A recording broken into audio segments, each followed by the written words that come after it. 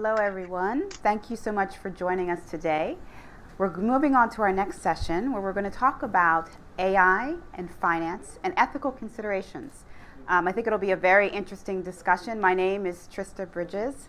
I am co-founder of an organization called Read the Air. Um, we work with organizations around the topic of sustainability, and I'm also an author of a book um, on a similar topic. And so what we want to do today is we want to talk about um, not just about AI, but um, ethics and how ethics um, is impacted uh, by AI and our transition to working with this new and emerging tech technology.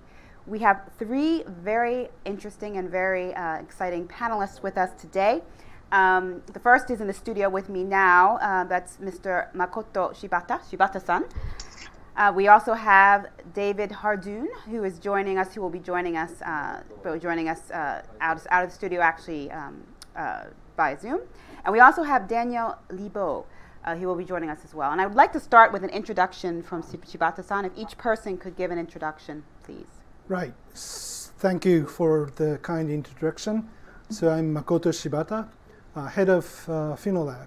So Finolab is a fintech hub where we have like 50 startup members and we are trying to uh, support them to uh, scale. And also we have 16 corporate members and we try to uh, connect these corporates to startups and um, try to help their open innovation um, initiatives.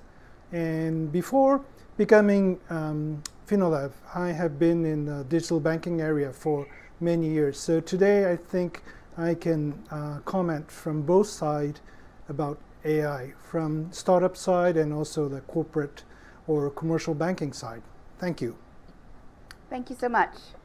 Next, I would like to go to our participants who are joining us remotely. Um, if we could ask Mr. David Hardoon to introduce himself, please.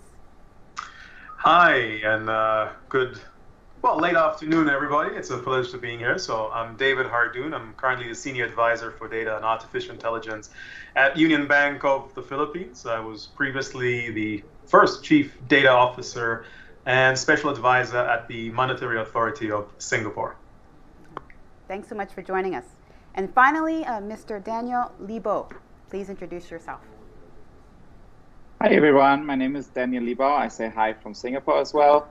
Um, I'll I'll not talk about you know kindergarten to now because we don't have we're pressed for time. But I guess the main reason why I'm here is that last year I had the pleasure to contribute a chapter to a book called the AI book, and basically the uh, the topic of today is a almost one-to-one match with the chapter that we wrote. So we started thinking a little bit about the important considerations of uh, ethical principles in the context of financial markets. Great, thank you so much. What we want to do as we get started is to really talk about ethics in the sense of, you know, we want to make sure we're all on the same page about what we mean when we say ethics. so um, I know, Dan, you mentioned the book that you contributed to. There was a very helpful framework that you had for thinking about that, and it includes five key principles fairness, privacy, transparency, explainability, and accountability.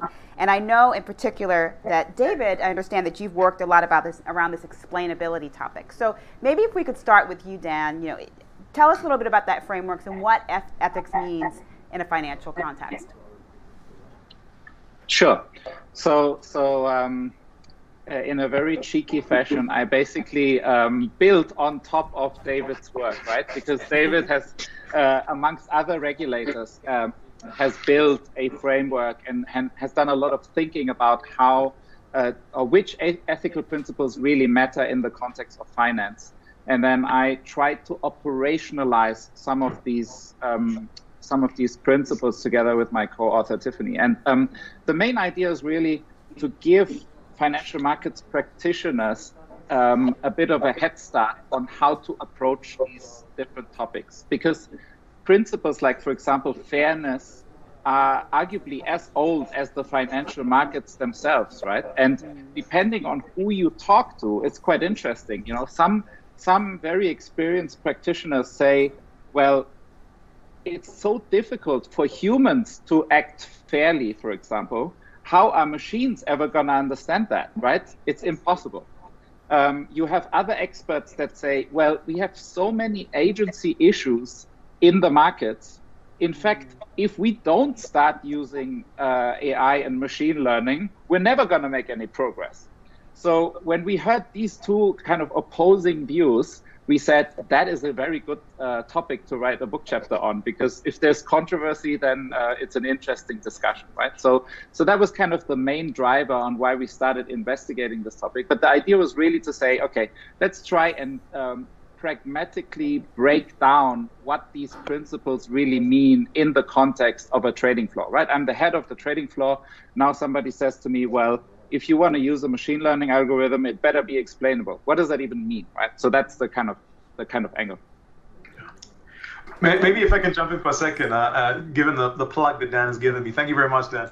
So well, now it's more than three years ago, um, uh, back in the MAS days, we, we basically found that there was, there was there was a gap in the marketplace, specifically in the financial sector, where there was no underlying baseline. And, and as mentioned, it's nothing new. I mean, having a fiduciary responsibility for your customers has always been there from a financial operator. But suddenly looking at data and AI was, well, what can we do, what we cannot do? And regulators at large have been deliberately quiet about it. So we decided, look, we need to put in place a set of guidelines, a set of principles to help, you know, put a even loose but a perimeter. And that was effectively the fairness, ethics, accountability, and transparency. Now, that, as mentioned, was indeed with the objective of setting in place a perimeter considerations. And in fact, if anything, uh, a realization that a lot of the governance and the requirements had effectively already been in place. But, and, and this is where I actually should thank Dan and, and co authors of the book and everything. We deliberately didn't focus on the operationalization. So it was about these are the principles. Now you need to figure out how to operationalize it, knowing that it's going to be a tough thing. But that then re- required that next step of realizing, well, actually, we already are operationalizing. Oh, this is how we operate, operationalize in this context. This is how we make it relevant and results in not just talking about AI, not just theorizing about it, but truly using it. Mm-hmm. And, and Shibata-san, can I ask you your yeah. thoughts on this? Are there any parts of this framework for you that seem particularly problematic or where you see problems could arise? Right. Now we are seeing many uh, large corporates trying to introduce uh, what they call uh, AI guideline or AI principles or AI policies. And particularly technology companies were um, first to start, but we also see some of the global banks um, starting to introduce uh, these uh, principles. And maybe they uh, read Dan's book, AI book. Um, I've seen all of these five principles uh, put into place, place. And one bank commented that they are also introducing um, one area called security or safety uh, as another principle.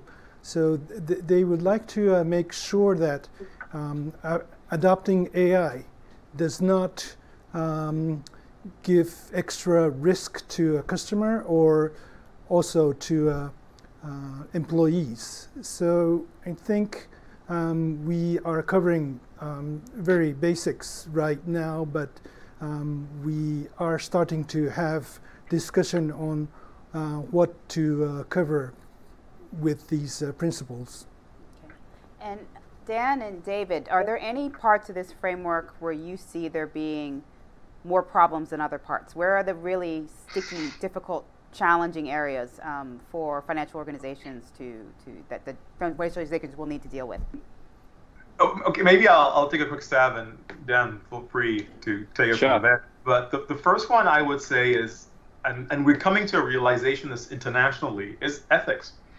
Um, where while there are certain underlying um, globally agreeable uh, predicates and presumptions, that there is local, there's culture specificities. And I'm being very delicate in dancing around this topic and not specifying what is right, what is wrong. But it's a cultural, um, well, respect actually to a degree. And, and this is challenging because if you're a global operator, not even global, regional, and you're going about building an AI model and you're embedding within it whatever principles that you have, whatever governance that you have, how do you assure that it can now be operated across multiple regions within within the region or internationally? Now that becomes tricky. That, that becomes difficult because maybe what you're trying to do is everything's fine, not not an issue from a from a governance perspective, from an ethical point of view, within your specific context, but it doesn't work somewhere else. So that, do we now have this fragmentation of models that it has to be ultra specific, or do we come to a universal consensus? It I, I, would say this one is, in, at least in my personal point of view, slightly more problematic than the others, which are more mechanical and more technical in nature. Okay. Dan, thoughts? Um, I mean, if we had more time, wow, there are so many important things. But maybe I zoom in a little bit on this whole uh, topic of transparency, right? And if we kind of go back to the uh, to the definition of what transparency actually is, is really um, making sure that the the public understands how AI actually works, right? And how it aligns with their version of, of reality. And this is obviously a very um, important topic in the context of financial markets because you now have on the one side uh, perhaps the fund managers who are pitching their machine machine learning based uh, funds to their clientele and they are arguably very excited about that and then on the other side, you have perhaps the client that uh, buys into that idea, um, but also doesn't really understand how some of these algorithms work, right? And then there have been cases where there's big disappointment, right? So I think in, in 2018, we had a case where in Hong Kong, a fund lost about $20 million worth of uh, investor money and of course, what did the investor do? Well, they sued the fund and said, you know, that's that's not what you told me this miraculous machine learning algorithm was going to do. So I think uh, if you think about it from that angle, basically there are there are things to be done on both sides, right? So um, should um, there be a lot more disclosures by the fund on how these machine learning algorithms work? Yes, there should be. But at the same time, it's a little bit like a, a buyer beware kind of a concept, right? So, what can we do on the educational side to enable uh, investors to understand the fundamentals of machine learning so that they can take better decisions when they do their due diligence, right? It's almost like uh, in the past, uh, I remember exchanges were very well known to explain to the public how derivatives work, right? This is a call option, this is a put option. Well, maybe we need to do the same thing, right? This is a this is a, a, neural network. This is um, uh, I don't know a random forest. You know, we have to explain these basics so that people can take more informed decisions. So I think um, transparency and then education uh, aligned to that is, is probably a very very important uh, part of the equation. Very interesting. Can I add Oh, sorry. Of course, Shibata-san, please. Yeah, I fully agree to uh, my fellow panelists, and also, uh, as David mentioned, this issue of uh, operating in different um, jurisdiction is a big challenge, especially now. Privacy is uh, something that uh, different um, jurisdiction have their own views on privacy so the global financial institution uh, are trying to find out where would be a good ground to uh, use privacy as um, principle in AI. And I think these things would take some time to be solved. Interesting. Good point. I think this is all a really nice segue into the next question I want to ask, which is around accountability. So we've obviously had many periods of history where financial markets have had massive problems, disruptions. Um, for example, what we had in 2008, and that really destroyed a lot of the um, trust, I would say, um, in in financial markets at that time and also afterwards. And the question of accountability loomed large in a lot of those problems, and we still those those situations, and we still have a lot of questions around well, who is accountable and who was accountable, who should be made accountable, and how should we do that? If we struggle to do that with human beings, how can we imagine this working with you know AI? You know, how do we get around the question of accountability when the AI goes rogue, if you will? Who is accountable for that, and who should be accountable for that? I'm happy for any of the panelists to address that question. Like... Well, I'll, I'll take uh, whoever wants to. I'm, I'm good. No, Dan, go ahead. You, you jumped in. Dan, please. you go first. Okay. okay, cool. Thank you. So, so accountability, very, very interesting, very interesting topic actually. And um, I guess I want to start with something that is probably not what many want to hear. Um, in the realm of financial markets, um, technologies are not regulated, right? And um, the activities that financial services companies, or, or, in particular the participants in the markets, conduct, those are the activities that are regulated. And um, those rely with the executives and, and ultimately with the CEO of the entity that, that uh, is in question, right? Mm. So um, one one principle that I kind of wanted to get across, actually, I was very excited uh, about uh, saying this in public, is um, I really don't believe that we should regulate machine learning algorithms more than we regulate humans, because I think that can really stifle innovation and is, is a quite dangerous thing to do. So let me just illustrate really briefly uh, before I hand over to my fellow panelists um, how to think about this. So let's just say that something goes wrong with a machine learning algorithm. In fact, that is very comparable to a, a rogue trader on the trading floor that basically doesn't follow the compliance handbook and sees this once in a lifetime opportunity and has you know tunnel vision and thinks he has to execute the trade because that's gonna make his career forever, right?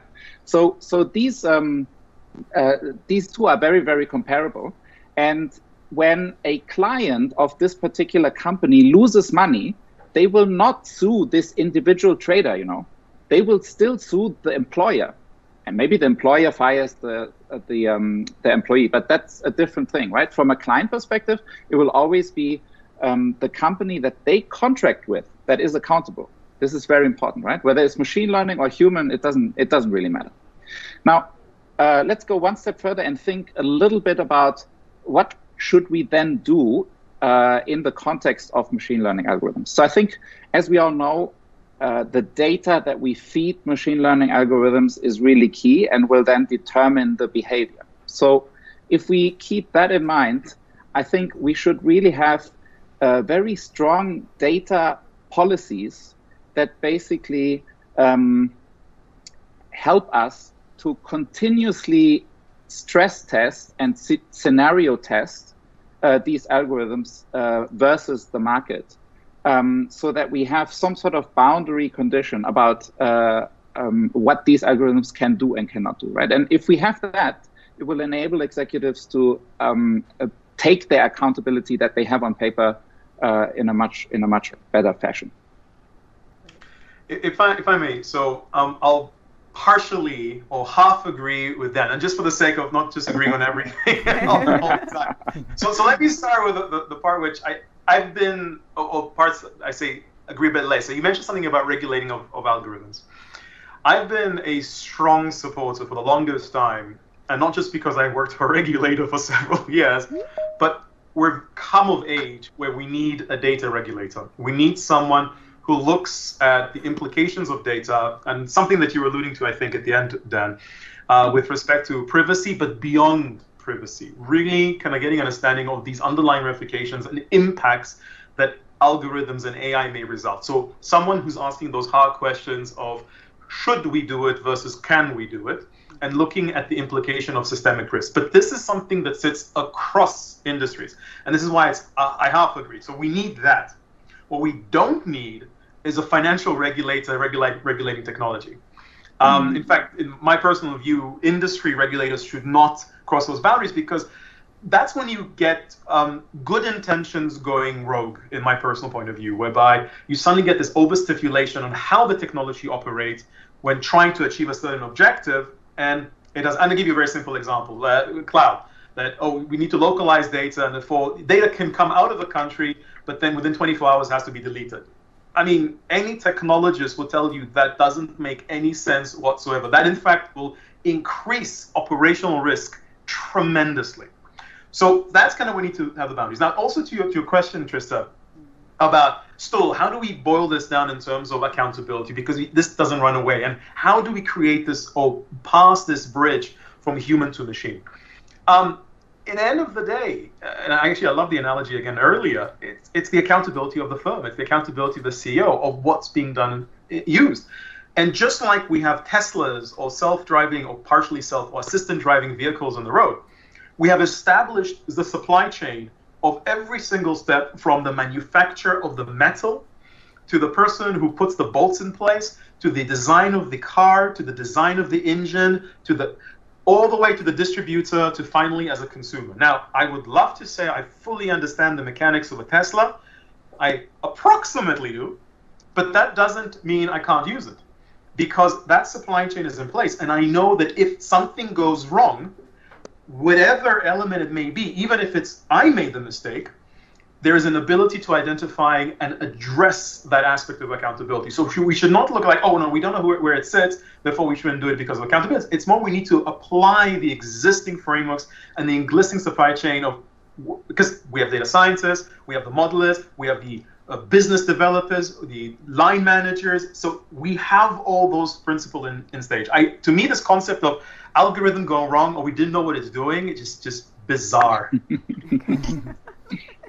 Shibata-san, any thoughts on this question of accountability? Yeah, um, I had an opportunity to talk to uh, um, several uh, global bankers on th on this issue, and one um, challenge that uh, one bank um, mentioned was uh, they are having an AI governance issue on the the Sarbanes-Oxley, SOX. Um, mm. So they have a strict uh, process to uh, uh, meet the SOX requirements, but the auditors are not quite happy once uh, they bring in AI into certain process. And now they are still in, in the argument and they, they haven't got the, the conclusion. But for temporary solution, they just uh, decided that uh, someone uh, in the bank would uh, just say yes after the AI result comes out so that the um, auditor can say such and such person made a decision based on AI. So if it's a full automated process, um, the auditor doesn't know who to be accountable for. So I think that kind of uh, pro problem would arise uh, from now on, talking about the, the governance and the, the internal um, control. It's interesting. So it's somewhat of a back office clearing function, if you will, for an AI oriented transaction. That's kind of an interesting approach. But can, can I just jump in and, and, and I, I love that that analogy, but because this in a way to me is also a bit of a warning because humans are the most phenomenal in hacking any system, including human systems. And we need to be careful whereby we're putting things in place just to appease an auditor, whereby it's just to appease, and you know, what I call tick the box compliance.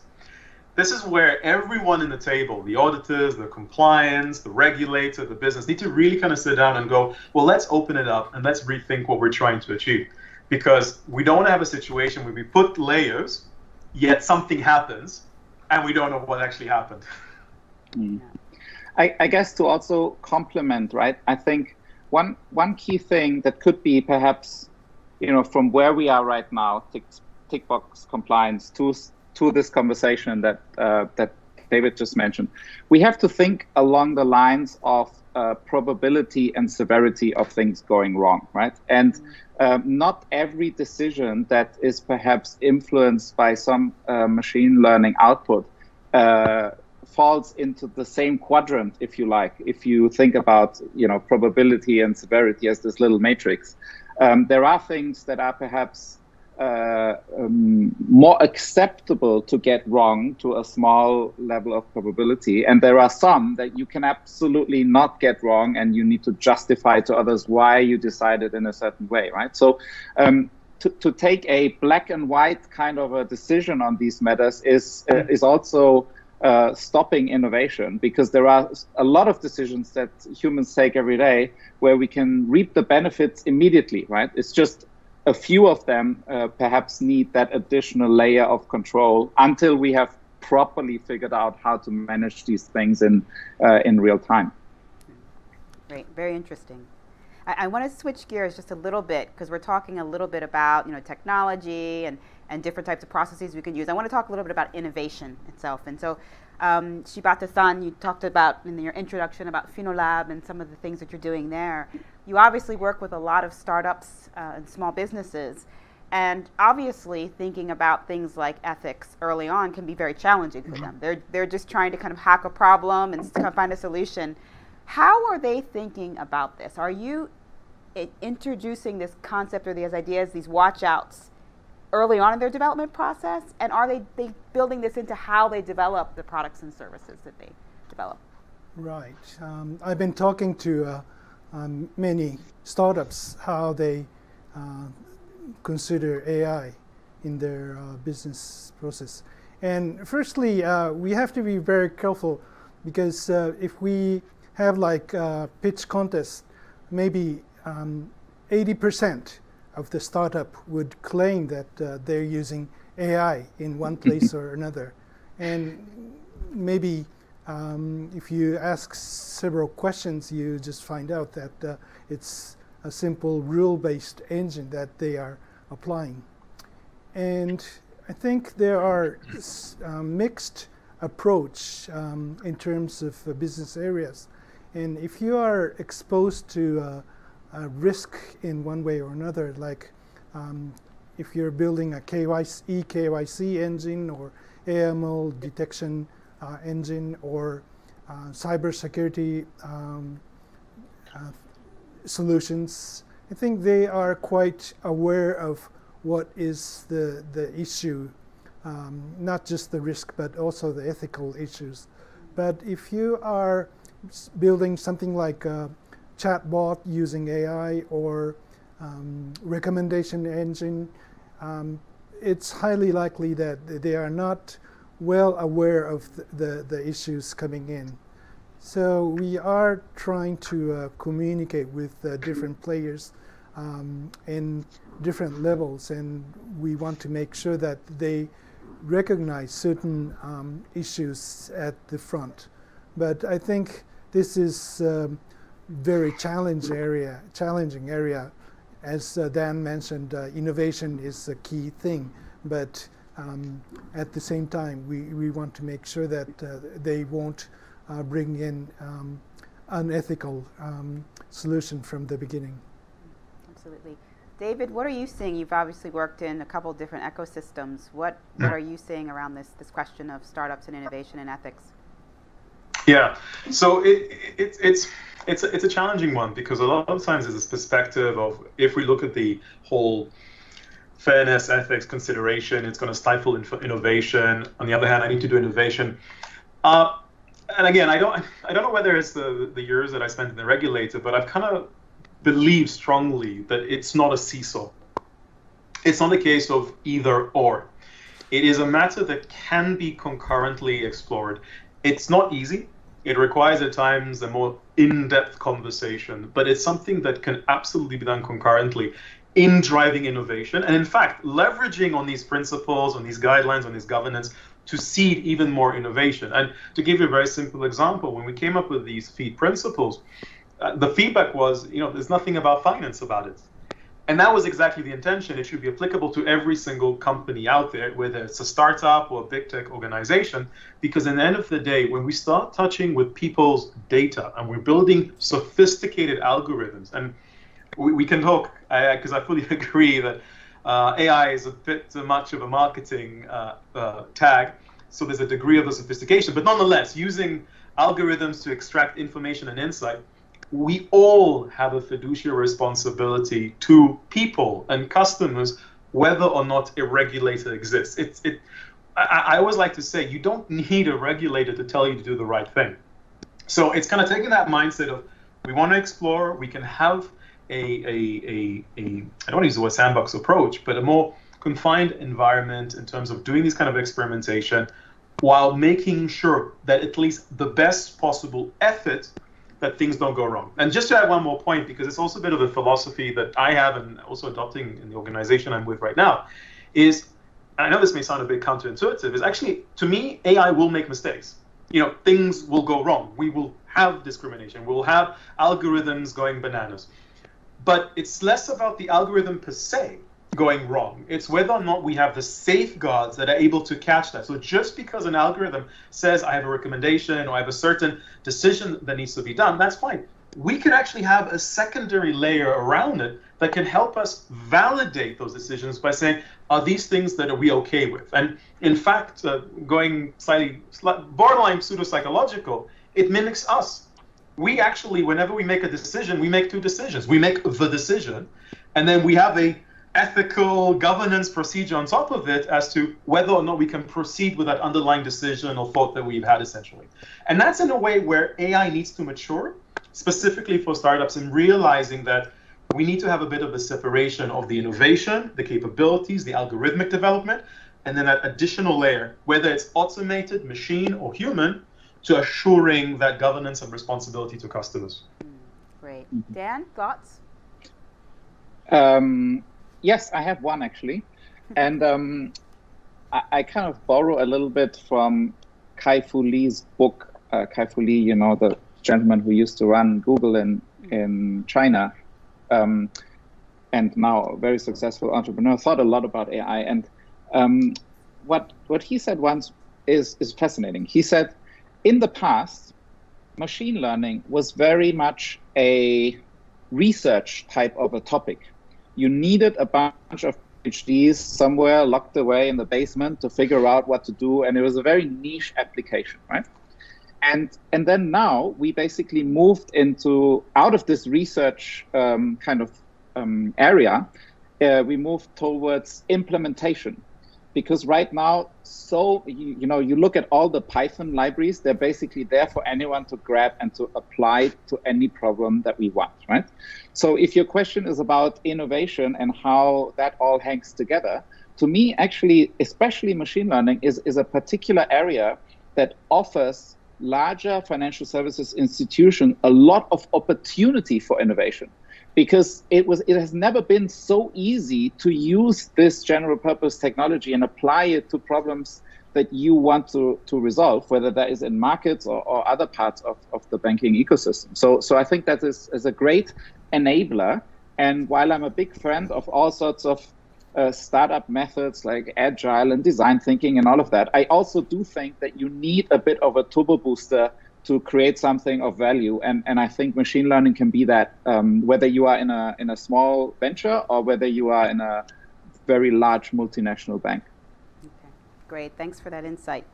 One of the things that we often um, like to talk about is application. And so, which applications AI in a financial context will be the mo- you find to be the most promising, right? I think we automatically think of consumer applications, right? You know, whether it be credit decisions or it be banking type operations but there's obviously lots of places within financial within financial markets that we can use ai and i'd like to hear from each of you what do you think some of the most promising uh, innovations could be and things that you may have seen? And then as a follow-up to that what are the biggest ethical considerations around that particular application?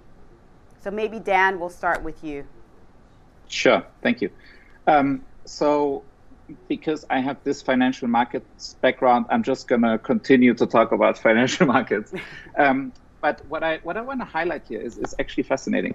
Um, I think one or two years ago, some really smart researchers have empirically proven that investment managers who make use of machine learning principles can understand expected returns better than the ones that can't. And that was a bit of a mouthful, but you think about it, it's quite a substantial insight, right? It basically says if there are two companies that look exactly the same, have very high quality team members, have great client base, uh, fantastic geographical uh, distributed presence. The only difference is one is really good with machine learning, and then the other one not. They have a bit of an edge, right? Uh, one that you cannot really uh, outperform if you, do, you, if you don't have it.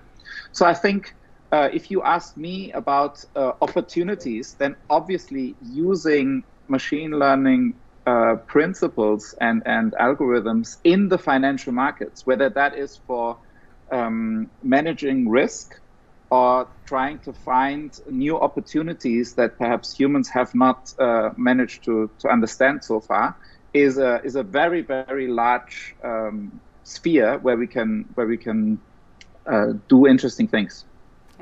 Okay. Shibata-san, your thoughts?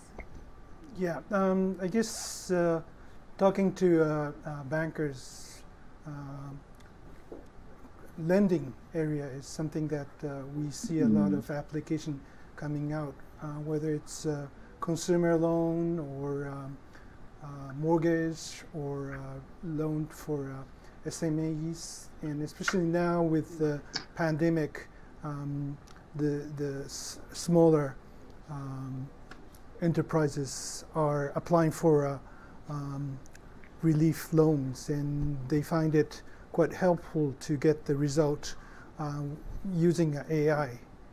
And I guess in applying these uh, uh AI tools for uh, lending, um, we also face a um, challenge for uh, privacy, especially for consumer loan or mortgage and I think in U.S. they have a big discussion on um, racial issue, but here in Japan, um, the bankers are concerned about the, the, the nationality and also the, the gender issue uh, in terms of um, making uh, um, machine learning from the past uh, created decision. And I think uh, we would see more um, um, check on these uh, discussions from, from now on. Great, very interesting. And David, hmm. thoughts from you? So perhaps maybe not the most uh, exciting of areas, but I actually think right now, and, and this is largely due to the fact that I'm absolutely obsessed with operationalizing AI. I find that the most exciting to me area and most uh, uh, promising area is actually applying AI in ops, in ops, in operations. Um, and the benefit for that is actually twofold. Uh, one, if I go in reverse and what you were mentioning, some of the challenges from an ethical consideration is due to the nature of being in operations are actually quite minimized because it's really about looking at the back and uh, middle office of the organization and how to uh, maximize whatever efficiency can be great. And that's exactly where AI, you know, triumphs because it finds over reams of data, those subtleties that as a human you may not be able to or unable to see, um, or maybe just too busy to see. So that's one. And the second one is the return on investment is just. I mean, the moment you start doing it, you, it, it, it just it's jaw dropping, and it then encourages and motivates the more front office, the more kind of sell related type of AI activities and customer, which as we've kind of been discussing, also has uh, certain additional types of considerations and concerns of the you know uh, privacy and, and and disadvantagement and so forth. So to me, really, right now, while it not may not be the most innovative, is ops because there's a huge amount of efficiencies that can be still gained in the existing system. Very interesting. Thanks so much. Um, one of the things that I'd like to do before we close, because we I think we have about five minutes left, we, we talked a little bit about regulators actually throughout this discussion. And I'm curious, I'm just curious as to what you're seeing from regulators around the world, right? Because I imagine there's some differences in terms of how this is being thought of and addressed. Are you seeing any trends or any interesting things that, uh, that you think could be uh, interesting uh, for other markets to take on? And maybe, I think, uh, David, you actually worked in a regulator. So can you talk about that just quickly before we close off? Well, I, I think for regulators, and again, I don't, I don't, this is from a personal perspective, I think this was a bit of an, a, rec- a reckoning. Because if you look at traditional, not just financial markets, just markets, uh, the, the way in which they move, the way in which they progress and advance, is we're talking about decades. And regulators usually, you know, have the ability and the luxury of building policies, doing stress tests, you know, thinking about things, mulling them before coming out. And the reality of the world of data and AI is, is the sheer veracity of activities. By the time a regulator comes out with a policy, it's, it's irrelevant. The industry has already moved on to the next thing.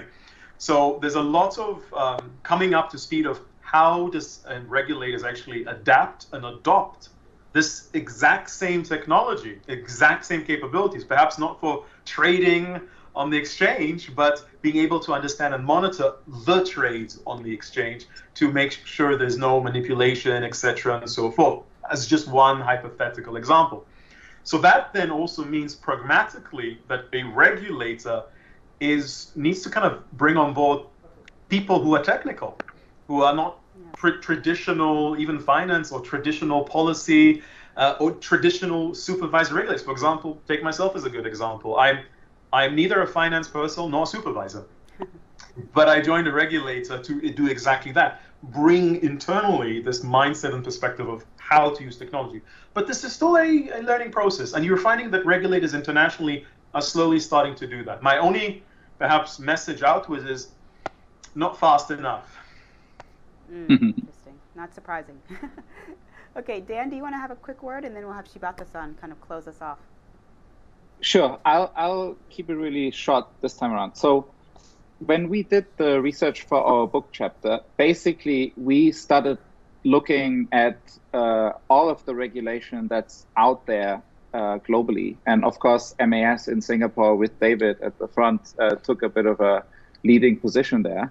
But what was very comforting to us was that wherever you actually go, there are now frameworks around the ethical use of AI in finance, right? So whether it's in Hong Kong, where there's an ethical accountability framework, or the European Union has a ethics guidelines for trustworthy AI. Singapore obviously has multiple documents by now. Uh, what what is perhaps a little bit of a surprise, at least was to us when we first did the research, is that even in China there is are the so-called Beijing AI principles, and the comforting thing is, is all the same. I mean, it's, it's you know, uh, plus minus, right? There, there, there might be one principle that is covered in one jurisdiction and not the other, but um, there is good consensus around what ethical AI is, which I think is a very uh, comforting and, and encouraging uh, status that we have reached so far. Very interesting. Shibata-san, please. Yes, I agree with David, and I think it's now becoming uh, quite open in the way that the regulators are trying to uh, share their information about AI and how they approach AI ethics uh, uh, within different um, jurisdictions. And also, um, they are quite open to learn from what startups are doing and also the, the banks mm are doing. Uh, for example, uh, Bank of Japan here in Japan are now um, organizing um, several series of uh, AI workshops and also FSA, Financial Service Agency, are conducting uh, interviews to uh, uh, different startups uh, adopting new AI solutions.